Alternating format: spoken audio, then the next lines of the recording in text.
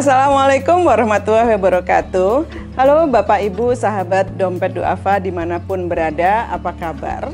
Alhamdulillah kali ini saya akan memasang olahan daging resep Nusantara ko-kreasi bersama Dompet Duafa dalam rangka kegiatan tebar hewan kurban di tengah pandemi hingga pelosok negeri.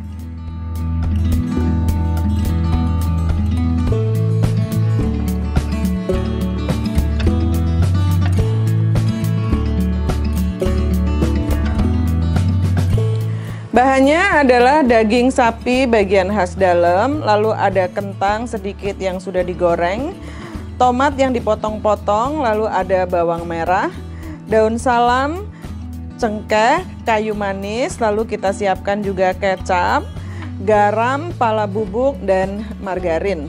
Lalu bumbu halusnya adalah ketumbar, kemudian ada jinten dan jahe, bawang putih dan kemiri. Lalu kalau sudah dihaluskan menjadi seperti ini.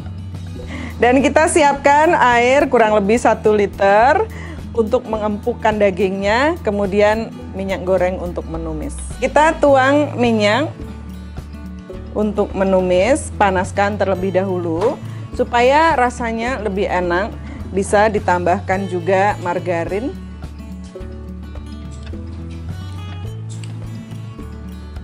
Kita tunggu sampai panas terlebih dahulu. Setelah minyak panas, kita tumis bawang merah.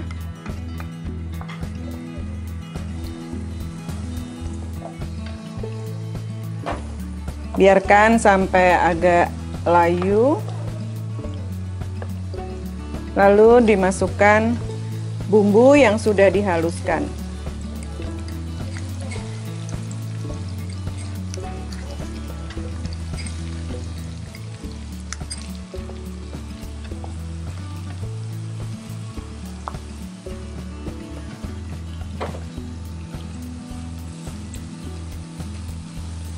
Kita tumis sampai harum.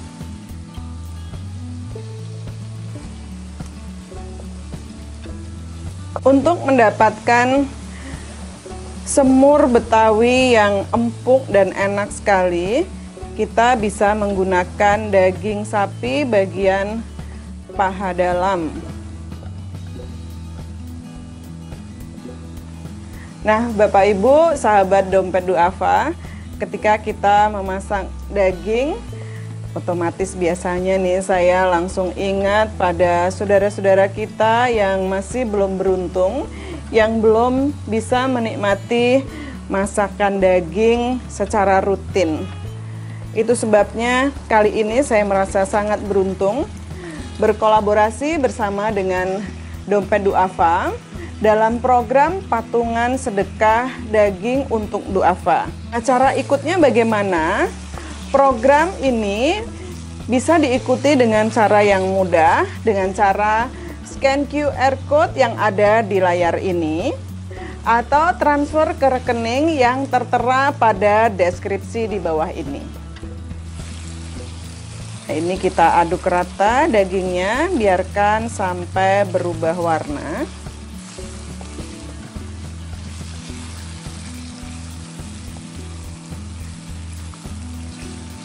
Kita-kita yang berada di dalam kota mungkin saja relatif mudah mendapatkan daging atau makanan enak lainnya.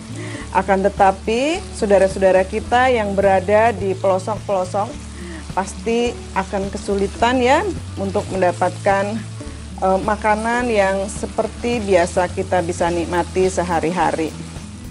Program Dompet Duafa berbagi daging kurban sampai ke pelosok negeri sungguh luar biasa ya sehingga saya senang sekali berkolaborasi dengan Dompet Duafa. Ini setelah berubah warna, kita bisa beri air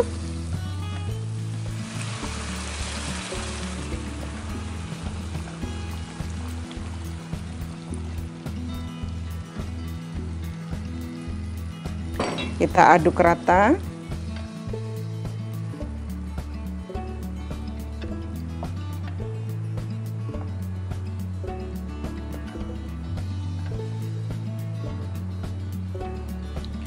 Kemudian kita masukkan kecap.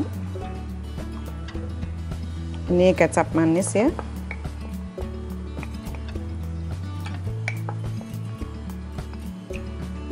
Kita aduk rata juga. Lalu masukkan berturut-turut ada daun salam, kemudian kayu manis, lalu ada cengkeh, lalu juga pala bubuk, dan juga garam. Kita aduk rata. Kita masak terus sampai daging empuk dan airnya menyusut.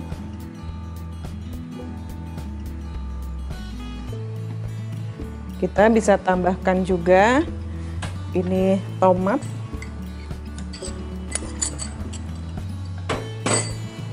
Diaduk rata dan biarkan mendidih, cukup diaduk sesekali saja.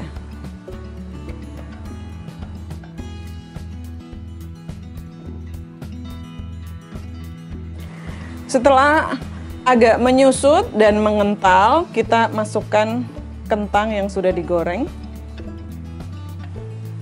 Lalu kita aduk rata.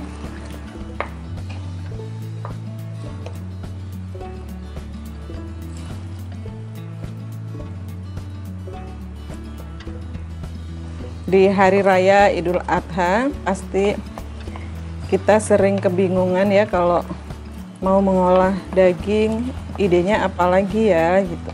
Ini bisa dijadikan sebagai salah satu ide memasak karena semur Betawi ini relatif awet, bisa dimakan 2-3 uh, hari ke depan.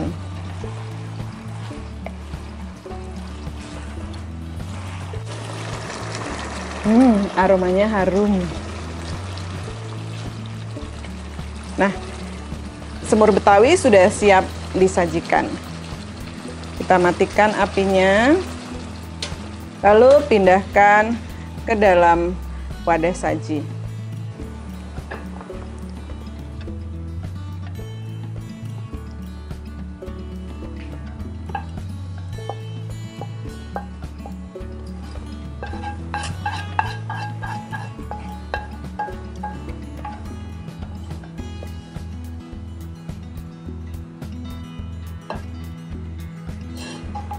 Taburkan bawang goreng sebagai garnish untuk menambah kelezatan semur betawi kita.